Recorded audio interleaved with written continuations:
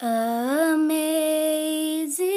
grace, how sweet the sound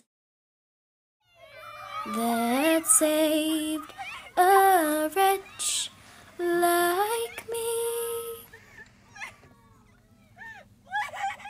I once was lost, but now.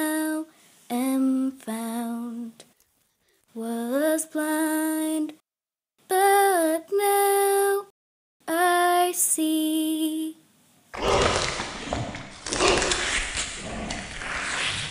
Hmm.